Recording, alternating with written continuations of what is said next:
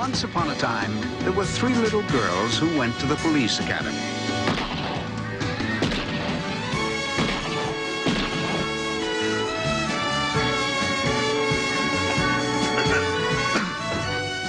and they were each assigned very hazardous duties.